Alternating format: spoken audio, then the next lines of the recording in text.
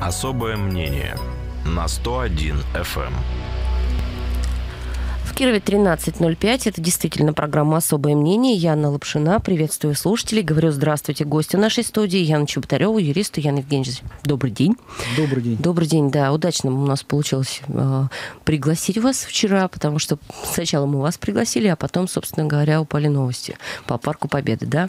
Э, напомню тем нашим слушателям, которые еще не слышали, не видели, э, накануне в суде по делу Парка Победы э, выступала Наталья Мамедова. Наталья Мамедова, а, бывшая начальница департамента муниципальной собственности администрации Кирова. До этого она работала в правовом управлении, до этого она работала в аппарате Кировской городской думы. До этого а, в прокуратуре. Да, собственно говоря, ну вот в Гордуме и городской администрации Наталья Мамедова работает, а, работала с, 1000, с 2010 года.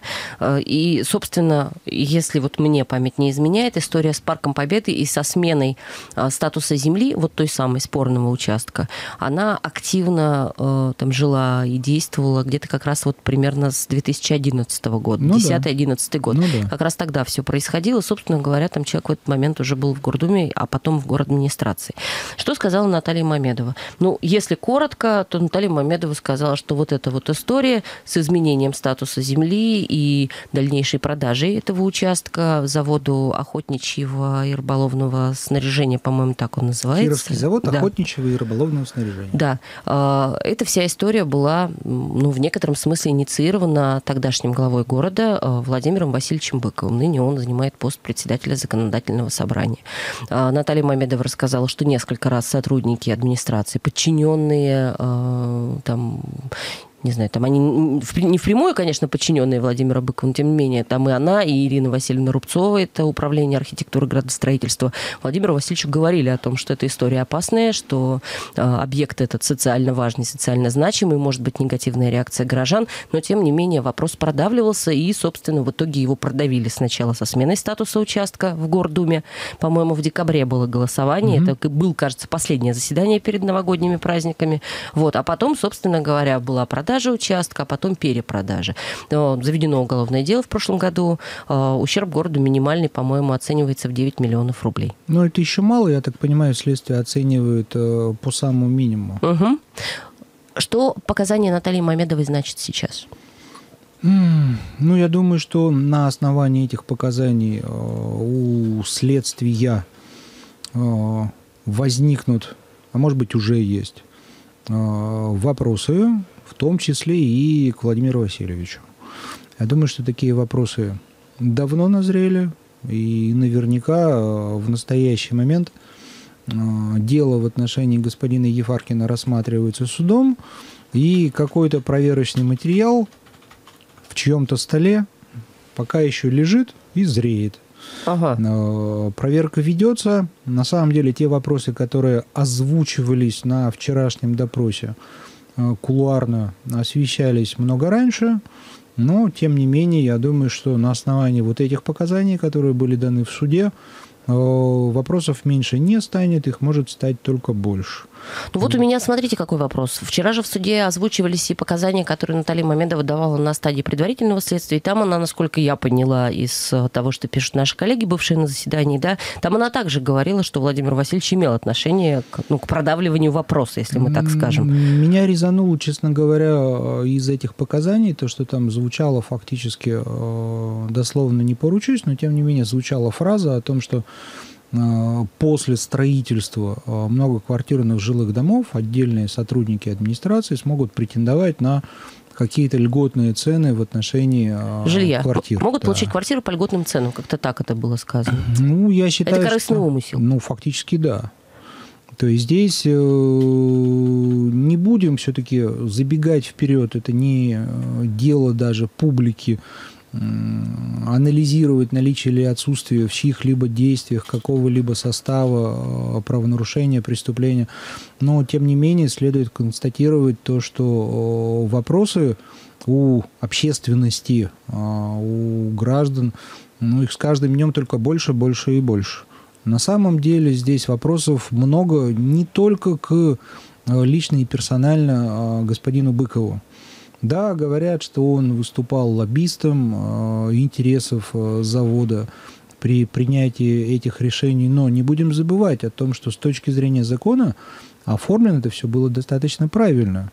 И решение о смене целевого назначения этого земельного участка принималось... Депутаты решение депутаты. приняли. Депутаты в России могут сделать все, что угодно, и не подконтрольны никому, включая собственных избирателей. Бюллетень в урну опустил, и все. Процедура отзыва избранного депутата существует только в теории, по большому счету. Это не партийные списки.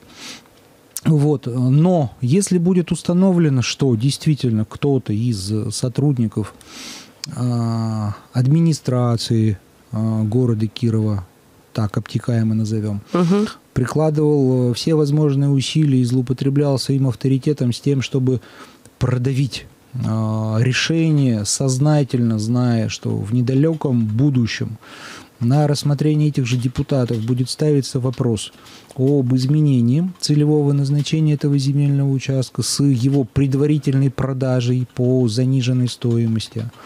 Ну, конечно, здесь можно усмотреть э, определенный состав э, уголовно наказуемого деяния. Депутаты, которые голосовали за передачу, они будут как-то отвечать? Или Ну, там за изменение статуса? Насколько мне известно, часть депутатов, которые принимали такое решение, уже имеют процессуальный статус свидетеля. Э, Их э, уже допрашивало следствие и будут допрашивать в ходе суда по господину Ефаркину, который сейчас идет. Э, В дальнейшем какие-то вопросы и претензии, предъявление им каких-то обвинений, высказываний подозрений, я не думаю, что это будет иметь место быть. Э, Полагаю, что все-таки, все-таки вряд ли весь наш депутатский корпус, который голосовал за изменение целевого назначения земельного участка, за выдел его из состава земель Парка Победы, были посвящены в э, общие планы о дальнейшей судьбе этого участка. Ведь если раздробить все это деяние на ряд каких-то последовательных шагов, каждый шаг в отдельности, он может быть юридически безупречен. Но в своей совокупности, при наличии единого продолжаемого умысла, он как раз и может образовать э, то деяние, за которое Уголовный кодекс предусматривает существенные сроки лишения свободы. Так, то есть депутаты, скорее всего, Скорее всего, ни при чем. ни при чем. А вот вопросы, связанные с э, действиями сотрудников администрации, которые пусть даже и выполняли чьи, чьи, Чьи-то указания, Мгм. но они могут быть э, рассмотрены через э, призму беспристрастности и следствием на предмет того, а правомерны ли были подобного рода действия, А что им могут вменить? Вот людям, которые, условно, людям, которые знали, были против, но при этом молчали. ну, не просто молчали. Если человек Хорошо, просто подписывали, молчит, подписывали какие-то Да. бумаги. Вот если человек просто молчит, за недонесение у нас как таковой ответственности по большому счету нет. Или есть, но в очень редких случаях. А вот если человек, повинуясь указанию э, своего начальника, либо просто авторитетного сотрудника, э, работающего в администрации, принимает то решение, которое сам сознательно считает ошибочным, неправомерным, не отвечающим интересам города и молчит, так он пособничает. Э, Пособничество э, в форме соучастия, соисполнительства предусмотрено Уголовным кодексом, и фактически такое действие квалифицируется ровно по той же самой статье. То есть, если речь идет о том, что кто-то имел умысел на хищение из э, городской казны земельного участка э, за сумму, несопоставимую с рыночной стоимостью, ну, так это 159-е мошенничество. И здесь все Но равно... Ну, это кто- статья. все равно, кто выступал организатором, кто выступал исполнителем, а кто просто помогал и пособничал. Все будут отвечать по этой же 159 части 4. Ну, естественно, для юридической чистоты и оценки участия, меры участия каждого в подобного рода деянии Уголовный кодекс и предусматривает различного рода виды соучастия.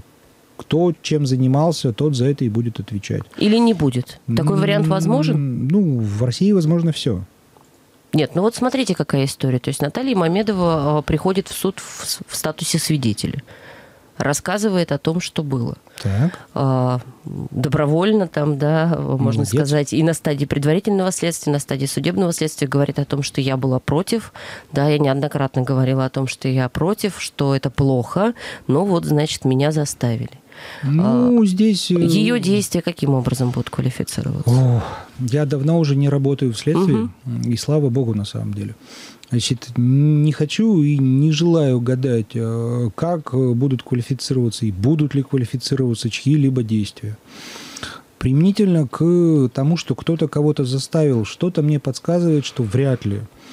Э, любой сотрудник администрации любого уровня, начиная от администрации президента, кончая правительством Кировской области, либо администрации города Кирова, принуждает э, других сотрудников с помощью физического какого-то принуждения под дулом пистолета. Нет, ну, конечно, такого не было. Ну, скорее, а всего, скорее всего, человек просто понимал, ну, как бы, а тогда либо, сознатель... либо делаешь то, а что заставляют, либо увольняешься. Ну, тогда следовало уволиться. Просто, Понятно. извините, если ваш начальник э, предложит вам совершить что-то абсолютно противоправное, вы будете понимать угу. о том, что речь идет о, ну, не знаю, там, хищении из бюджета определенной суммы, нанесении ущерба кому-то, Э, получается, что человек делает выбор. Либо сохранить работу, либо нарушить да, закон. Да, то есть он фактически своим э, действиями помогает совершать данные деяния и имеет этот же личный корыстный умысел, только может быть не в виде какого-то кусочка от будущего пирога, хотя звучала же возможность каких-то льготных покупок недвижимости, а в виде возможности сохранения того теплого места, которое у него имеется на момент поступления ему такого предложения. Но при этом мы с вами начали с того, что вроде бы каждое отдельное действие юридически оформлено, оформлено безупречно. правильно. Оформлено безупречно. Решения принимались депутатами, но, но э, ведь кто-то один либо несколько человек знали дальнейшее направление действий. Вряд ли депутаты, когда голосовали за э, выдел земельного участка из Парка Победы, были кем-либо посвящены э, в то, что через два месяца э, воспоследует очередное собрание, где будет приниматься решение об изменении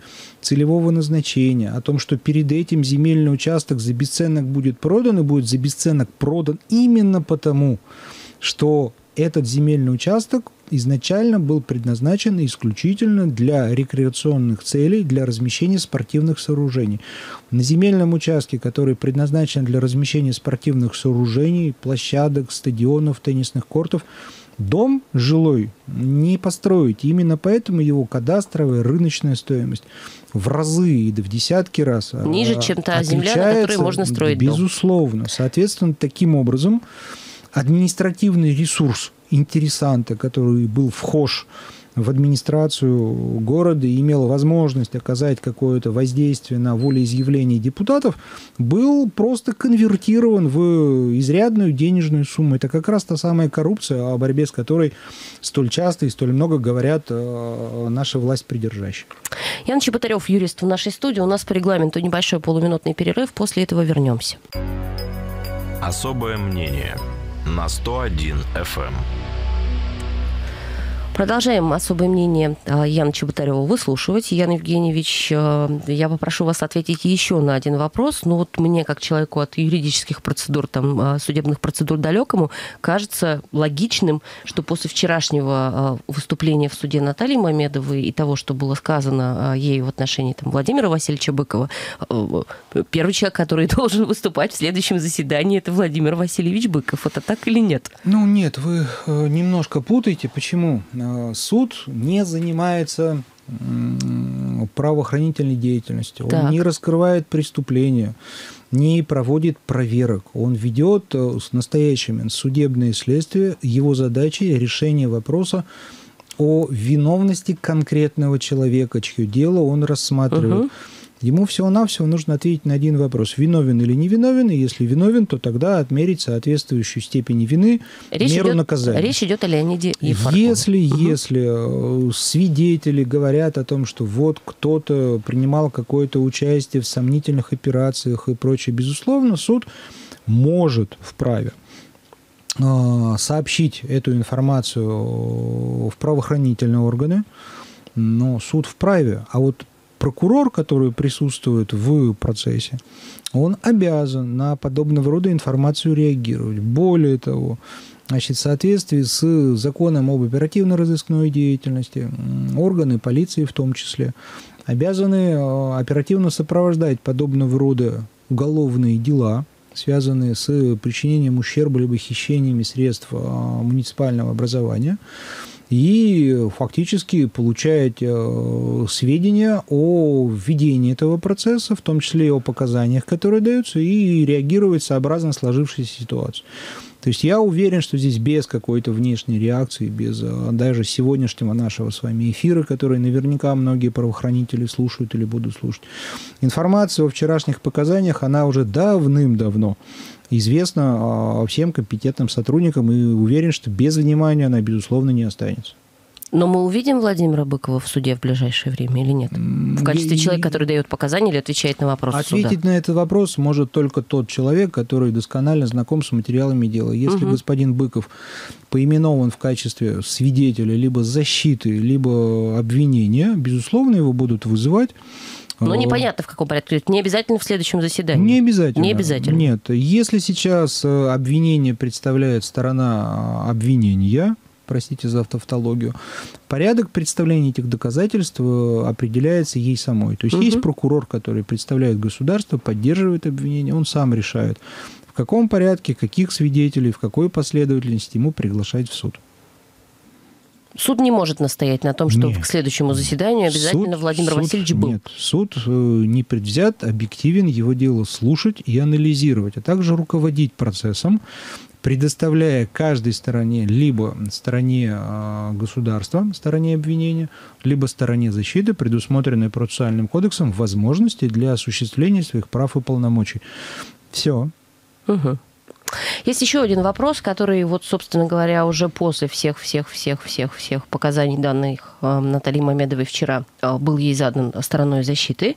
Ее спрашивали о том, что было заведено еще одно уголовное дело. Мы помним, оно не было связано с Парком Ну, Победы. И было прекращено, там, да, халатность там, да, и было прекращено, э, э, потому что истек срок давности, я так понимаю, да? А, Вот, и не повлияло ли это прекращение или заведение этого уголовного дела на показания Натальи Мамедовой? Она сказала, что нет. А, Это такая распространенная практика, да, что на человека заводит уголовное дело, а потом просят его дать а, показания, или, или, или это просто вот, ну, какие-то, не знаю, там, слово уловки я не очень люблю, там, да, ну, какая-то тактика защиты, так скажем. Ну, здесь скорее тактика не защиты, а тактика э, обвинения. Ага, А, все-таки Как бывший следователь могу, все-таки имеет это могу предположить, вероятность. что, безусловно, вероятность подобного рода развития событий, она э, имеется. Действительно, бывает, э, и раньше это бывало, и сейчас так бывает, что э, возбуждается в отношении свидетеля какое-то дело, и в случае, в случае, если человек правильно понимает политику м, партии и правительства, другие дела не возбуждаются, а возбужденные либо переквалифицируются, либо тихонечко-тихонечко умирают само собой. Но, опять же, повторюсь, это исключительно из области догадок. Мгм. То есть может быть и может не быть. Может быть, а может не быть с равной степенью вероятности. Ну, вот Наталья Мамедова сказала, что э, дело не имеет отношения к делу о Парке Победы, и на ее показания никак не повлияло. Давайте, давайте ей поверим, тем более, что она имеет на это право, и как э, человек, которого я лично знаю давно достаточно, и с точки зрения действующего законодательства, пока не доказано иное, никто не вправе обвинять человека в чем-либо. Высказывать какие-то сомнения, предположения, безусловно, можно. Ян Чеботарев в нашей студии. Мы продолжаем. Еще одна да, тема, которую хотела э, затронуть с вами. Э, насколько я понимаю, сегодня в Первомайском суде продляется э, срок срок содержания под стражей, так это Я думаю, называется, что да? уже продлился. Судебный процесс начался А. в 9 часов 30 минут. Так, и уже, наверное, рассматривалось, закончился. да. к сожалению, пока вот я спешил на эфир, э, пытался дозвониться до коллег, э, и не удалось мне это. Значит, рассматривался вопрос о продлении стражного срока, э, срока содержания под стражей для гражданина Польши а, Анджея Онищука, который уже 10 месяцев содержится в СИЗО города Кирова по обвинению в... в, в я даже вот затруднюсь В экстремизме обвиняют? Да нет. Нет? Значит, э, ну, фактически, если Онищук свидетели Иеговы. Свидетели да, Иеговы, давайте поясним, да. сразу, сразу многим Значит, станет и понятно. его обвиняют в том, что, несмотря на то, что в 2015 году э, религиозная организация э, Кировские свидетели Иеговы, свидетели Иеговы в городе Кирове, была признана экстремистской, э, Онищук содействовал и продолжал деятельность этой организации, ну, правда, очень странным способом. Тем, что занимался ровно тем же самым, чем он занимался и раньше. То есть читал Библию, общался, встречался с э, своими единомышленниками, э, собирал какие-то средства на организацию этих собраний, распространял э, свои э, воззрения и Мгм. прочую вещь. И на основании вот этих обвинений он уже 10 месяцев находится в СИЗО. Я, честно говоря, рассчитывал и рассчитываю, пока не знаю результаты На, из- на изменение меры пресечения? Ну да, просто остальные это все У нас их несколько. кировские яговисты, Мгм, мгм. которые были задержаны и одно время содержались под стражей, были все-таки отпущены под домашний арест. Почему в отношении Онищука э, такое решение не было принято? Ну, наверное, только потому, что он имеет гражданство Республики Польша.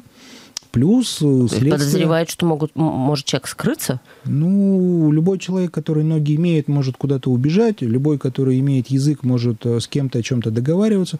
Предполагать не означает доказать. Верховный Мгм. суд неоднократно, но, к сожалению, безуспешно пытался эту истину донести до судов нижестоящих.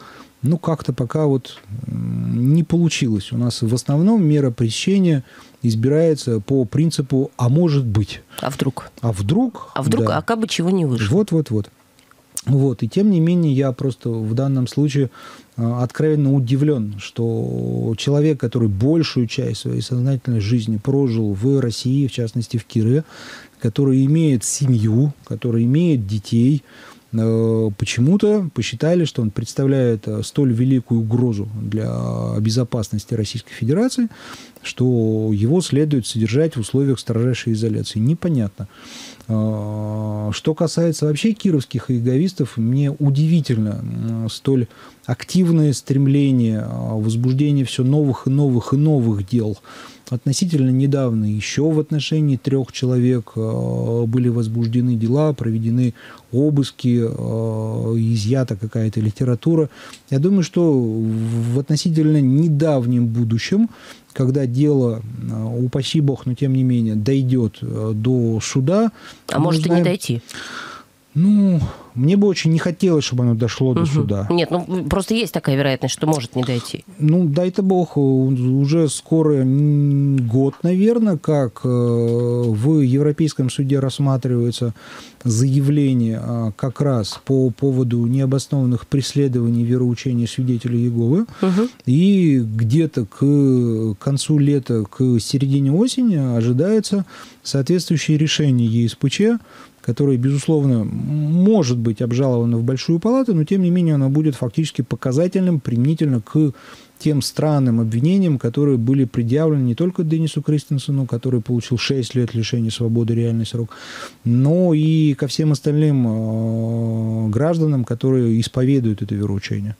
На мой взгляд, и об этом специалисты говорят достаточно давно, корень проблемы яговистов состоит в несовершенстве нашего антиэкстремистского законодательства. К сожалению, к сожалению, только четыре основные религии признаны у нас э, иммунными от э, возможности их проверки на какой-либо экстремизм.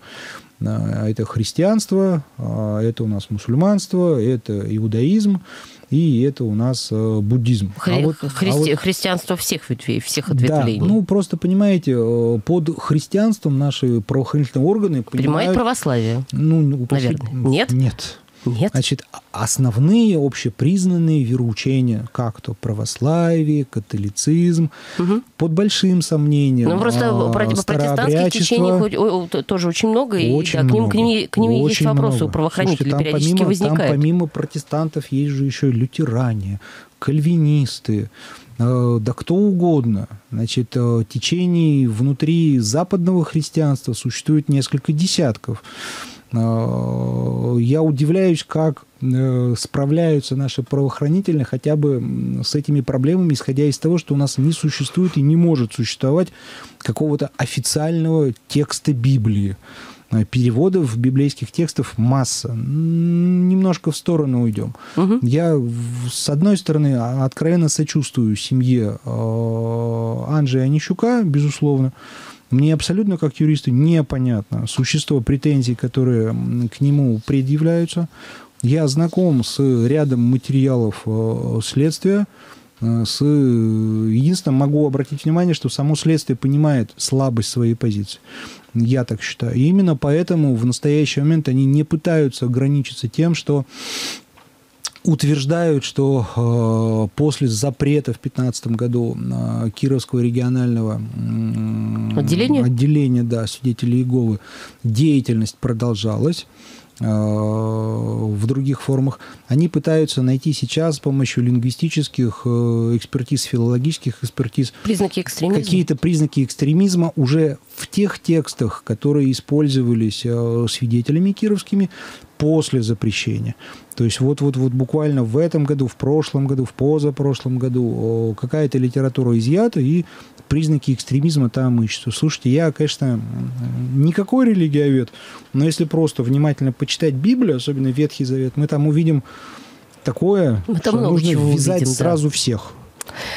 Ян Чеботарев в нашей студии. Я так понимаю, что про а, то, изменили или не изменили меру пресечения Анжея Онищуку, мы услышим уже сегодня, но чуть-чуть позже. Чуть попозже. Чуть позже.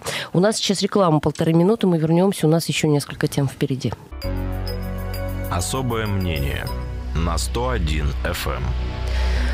Юрист Ян Чеботарев в нашей студии. Мы с ним продолжаем. Вот интересная Яна Евгеньевича коллизия. Не знаю, она, наверное, с юридической точки зрения в некотором смысле безупречная, потому что есть э, новые правила, есть люди, которых их нарушают, и которые их нарушают. Ну и, собственно говоря, тут какая может быть реакция? Только одна. Значит, людей, которые нарушают, надо штрафовать. Речь идет о новой разметке в городе Кирове, новой разметке, в том числе пластиковой, которую нанесли на магистральные улицы, причем нанесли так, что въезды во дворы налево перекрыли.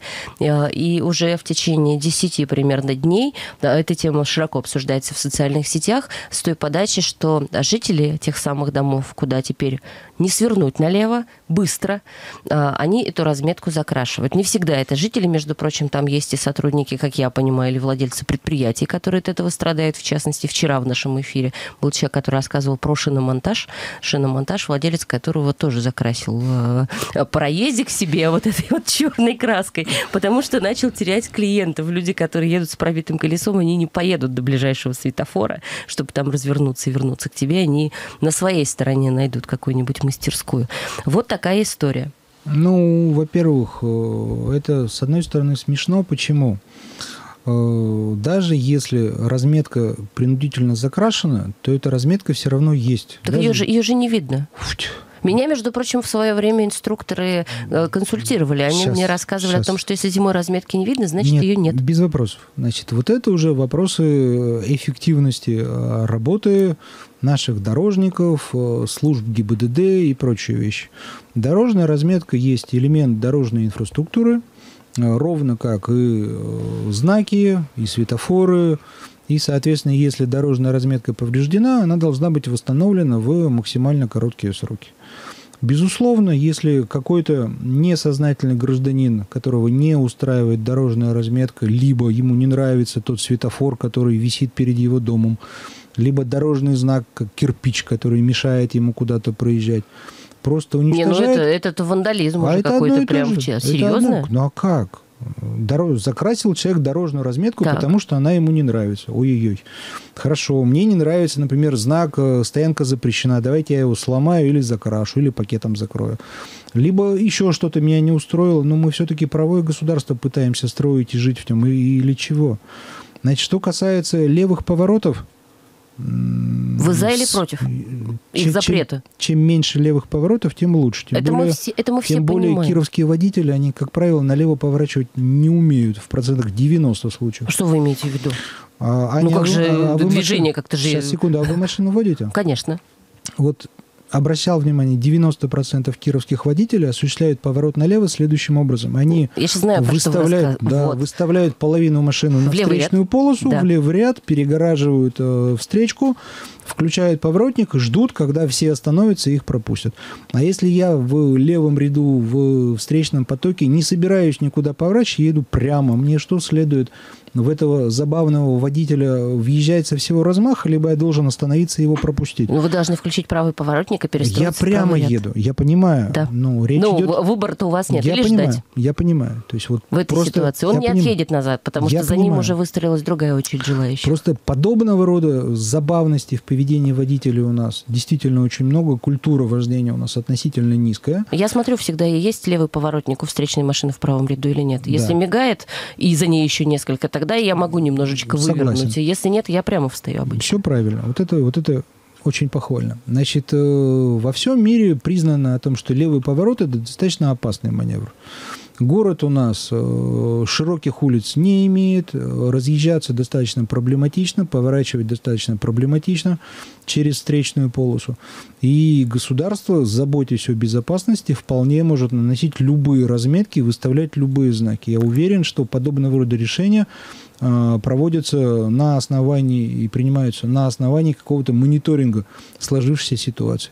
Не пешком идти, можно в конце концов полквартала и объехать. Мы, бывает, э, несколько раз э, Да, но вокруг вопрос, квартала вопрос в том, объезжаем, что человеку все равно придется места. поворачивать налево. Просто он это будет делать на светофоре. Наши, Пусть на светофоре, наши вчерашние гости Евгений Лунев и Михаил Рябов, это ГИБДД городская, да, и дирекция, бывшая дирекция дорожного хозяйства, теперь управление дорожной парковой инфраструктуры. Собственно, они что говорили? На светофоре все водители готовы там, к каким-то неожиданностям человека, который будет поворачивать а, э, влево, да. То есть все этого ждут. Ну, на светофоре безопаснее развернуться. Да, да. Это на самом деле так. Но И- времени-то это занимает больше. И что? Зато Пробки безопаснее. длиннее в левом ряду перед светофорами.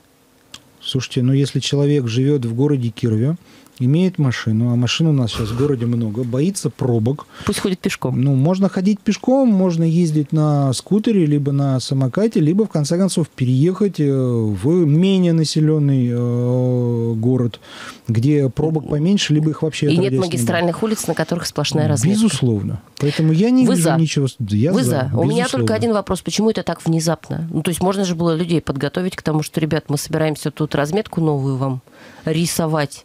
Ну, Будьте можно, готовы. можно было бы, Прорабатывайте маршруты. Можно было бы, конечно, высказать пожелание для ГИБДД, для дорожных служб, тем, чтобы они заранее предупреждали э, горожан об изменении в э, дорожной карте города Кирова. Ведь э, если у нас некоторые улицы превращались в односторонние, об этом горожан все-таки предупреждали заранее. А, Например, сделали улицу Спасскую односторонней. Если я правильно помню, чуть ли не за полтора-два месяца об этом были соответствующие публикации.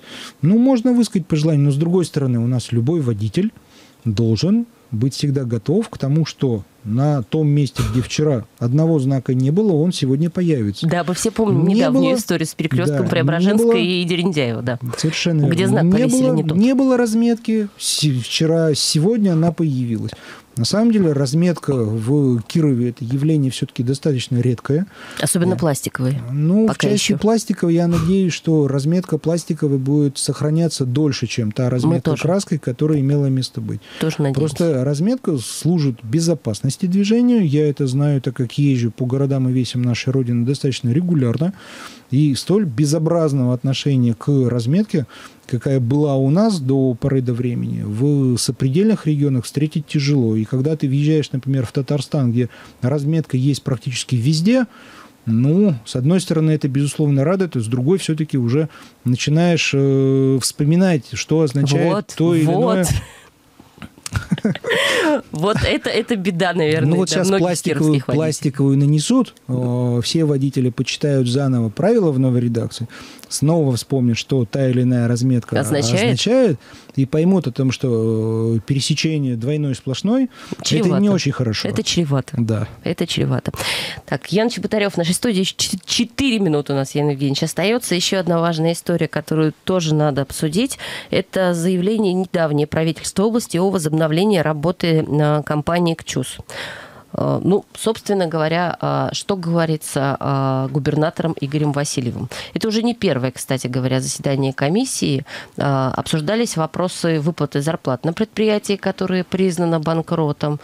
Правительство намерено принять все возможные меры, чтобы сохранить предприятие. Я напомню, что КЧУС – это, в общем, достаточно крупная строительная компания, да, которая на нашем строительном рынке играла значительную роль, до сих пор играет, насколько я понимаю, много еще дольщиков, да, покупать покупателей квартир. Вот. Сейчас на предприятии числится 300 человек. Э, им направили уведомление об увольнении с 1 августа. С 1 августа, с то есть завтрашнего дня. Да. Э, людям выплачено уже в общей сложности 46 миллионов рублей долгов за 18-19 год. Но э, и министру строительства Руслану Бондарчуку дано поручение продолжить работу по возобновлению деятельности предприятий и сохранению основных производственных фондов. Вот такая история. Вы, насколько я помню, некоторое отношение к компании имеете или нет? Ну, или я, я ошибаюсь? представляю интересы в каком-то из дел было. акционеров угу. Кирово-Чепецкого управления строительства. Э, я более-менее ориентируюсь в этом деле в арбитражном суде. Я знаю прекрасно о том, что в настоящий момент бывшее руководство и нынешние мажоритарные акционеры Кирово-Чепецкого управления строительства ведут Э, колоссальную работу по э, привлечению инвестора э, для того, чтобы решить финансовые проблемы КЧУСа, прекратить процедуру банкротства, угу. возобновить достройку тех проблемных домов на улице Ленина, которые начинал строить КЧУС, сохранить трудовой коллектив и фактически реанимировать предприятие. Я знаю, что получено не далее, как вчера, банковская гарантия столичного банка достаточно крупного о э, выдаче потенциальному инвестору миллиардного кредита, э, который будет потрачен на как раз э, закрытие всех задолженностей предприятия. Держу пальцы, чтобы это все получилось. И такое крупное предприятие, известное давно за пределами и города Кирова, и Кировской области, все-таки сохранилось и продолжило свою деятельность во благо всех нас. Я правильно понимаю, что инвестор, вот конкретная компания, пока не найден? То есть ведутся есть, еще... Почему? Есть, уже есть, уже, уже определен. есть банковская гарантия, она выдана конкретному лицу, ага. и причем э, интересанты э, достаточно известны на территории города Кирова и Кировской области. То есть это наше лицо, Кировское? Это, это московская ага. Э, инвестиционная компания, но в ее составе есть лица, которые известны кировчанам. Пока не раскрываем не все карты. А когда скажу. будет известно широко? Когда ну, эта информация давайте, будет опубличена? Давайте недельку подождем э, с тем, чтобы провести переговоры с банками-кредиторами КЧУСа. Угу. И я думаю, что когда основные договоренности будут уже достигнуты, и банки как кредиторы свои деньги получат, ну вот тогда можно будет публично объявить о том, что выработан определенный план спасения предприятия. Через неделю. Ну, Примерно через неделю. Неделя, дней 10, где-то так говорит Ян Чеботарев, юрист. Мы на этом программу «Особое мнение» завершаем. Яну Евгеньевичу спасибо, слушателям Вам до свидания. Спасибо. До свидания. «Особое мнение» на 101 FM.